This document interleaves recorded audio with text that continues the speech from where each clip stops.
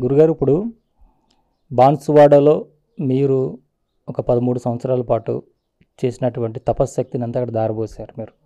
ఇవాళ క్షేత్రము అందుకే బాన్సువాడ అనేది ఎంతో మారుమూలగా ఉన్నా కూడా ప్రపంచ ప్రఖ్యాతిగాంచింది ఎంతోమంది తెలిసింది.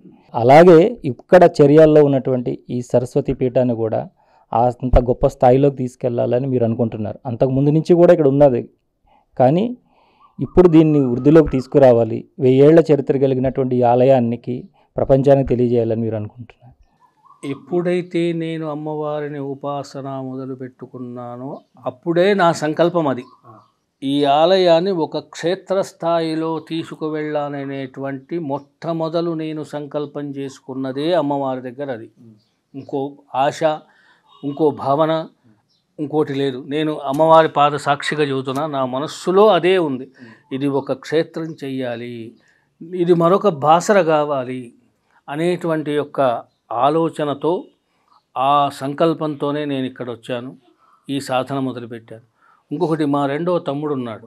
ఇక్కడ పెట్టకు ఇక్కడ అమ్మవారిని ప్రతిష్ఠ చేయకు ఇక్కడ అమ్మవారిని ప్రతిష్ఠ చేయకు అన్నాడు. అయినా నేను ఆగల కారణం ఏమిటి అంటే నా ఊరు బాగుపడాలి నా ఊరు ప్రజల్లోపలికి అమ్మవారు సకల విద్యాదేవి అయినటువంటి వాళ్ళ వాళ్ళ పిల్లలకు విద్యను ప్రసాదించాలి. నా ఊళ్ళో వ్యాపారస్తులు వృద్ధి చెందాలి వ్యాపారం పెరగాలి. నా ఊళ్ళో ప్రతి ప్రజ సుఖశాంతులతో ఉండాలనేటువంటి ఒక సంకల్పంతో మాత్రమే వ్యాపార వృద్ధి అవుతుంది విద్య వృద్ధి అవుతుంది. ఇక్కడ ఉన్నటువంటి పిల్లలందరికీ కూడా విద్యా జ్ఞాన సంపత్తి కలుగుతుంది. పాడి పంటలు అభివృద్ధి చెందుతాయి. ఎందుకంటే అక్కడ సరస్వతి అంశ ఒకటే లేదు అక్కడ మహాలక్ష్మి. మహా సరస్వతి మహాకాళి. శక్తి స్వరూపులు మూడు ఉంటారు మూడు అంశాలతో శారదాపీఠం అవుతుంది. ఒక్క సరస్వతీదేవి విగ్రహంలోనే మూడు అంశాలు ఉన్నాయి. ఈ మూడు అంశాలు ఇక్కడ ఉంటే సుభిక్షమవుతుంది గ్రామం అనేటువంటి సత్య సంకల్పమే తప్ప అన్య సంకల్పం లేకుండా నేను ఇది స్థాపించాను. కాకపోతే ఏంటంటే మేము ఆర్థికంగా లేం కాబట్టి కేవలము నాకు శిష్యపాత్రుడైనటువంటి వాడు పోచారం శ్రీనివాసరెడ్డి పో స్పీకర్ గారు వారు ఒక్కరే తప్ప. అది అక్కడ బాన్స్వాడ మందమే.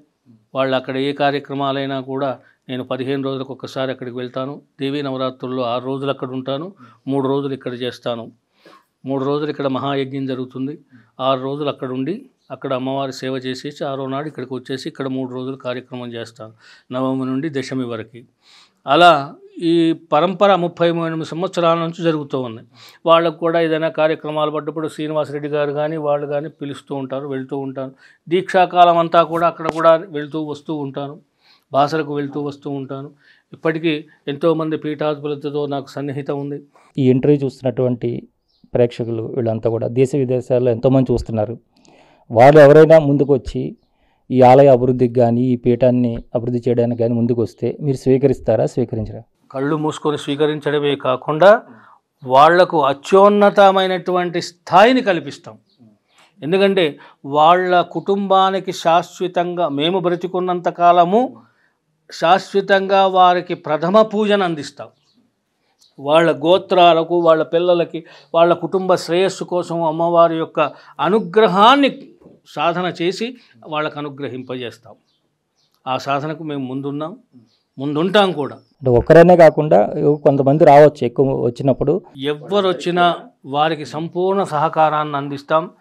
వారితో పాటు మేము కూడా సమభాగంలో పనిచేసి వాళ్ళకి సంతృప్తి కలిగిస్తాం.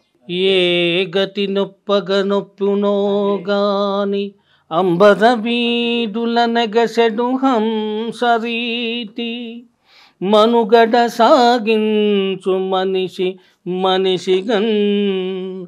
క్షీరజలములు వేరుగజేయురీతి మనమందున మాల్యము తొలగించి మనసు నింపగదమ్మ భారతి. హంసరీతి ఏ విధంగానైతే జలము క్షీరములను వేరు చేస్తుందో మనస్సులో ఉన్నటువంటి మలినములను వేరు చేసి మనస్సు నింపు భారతి. అంటే మనం చేస్తున్నటువంటి ఏ కర్మ అయినా కూడా మాలిన్యరహితమై మనోనిశ్చలా స్థితితో మనోనిమిష్టముతోని కనుక చేస్తే అది సత్ఫలితాన్ని ఇస్తుంది. బాండ శుద్ధి లేని పాకమేల అనే స్థితిలో మనసు శుద్ధి లేనప్పుడు నీవెన్ని అర్చనలు చేసినా ఎంత ఆరాధించినా అది నిష్ప్రయోజనం. ప్రయోజనమగునది ఏదిరా అంటే మనమునందు నొక్క నిముసమ్ము హరేయని తలచినన్ హరాయని పిల్చినన్ పరుగున పరమాత్మరాడే నాడు మకరి నోటను జిక్కిన కరి రీతి కావంగ హరి కదలడే అహమెల్ల చచ్చిన నాడు నీవెగతియని మొరయిడిన నాడు స్తంభంబునందంభంబై హరనారసింహుడు నొక్కురుకున నురుకలేదే నెత్తిని నీదగునేది చెప్ప మనమొక్కటి చాలు మరుబకనిచ్చిన కాచువాడు. వాడికి ఏది ఇస్తేనే ఇదొక్కటి చాలు అన్నీ వస్తాయి. అందుకనే పరమాత్మ సన్నిధి చేరటానికి ఒక్కటే మనస్సు. మాలిన్యం లేనటువంటి మనస్సు అదే పరమాత్మకు సాధన. అదే మనకు సోపానం అదే మనకు మెట్టు.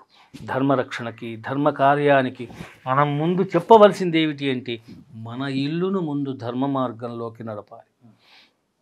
ఒక్కటి చేస్తే కాదు ముందు చెప్పేవాడు చేసి తాను చేస్తున్నాను అని చూపిస్తే ఆ ధర్మం పది మందికి అలవాటు పడుతుంది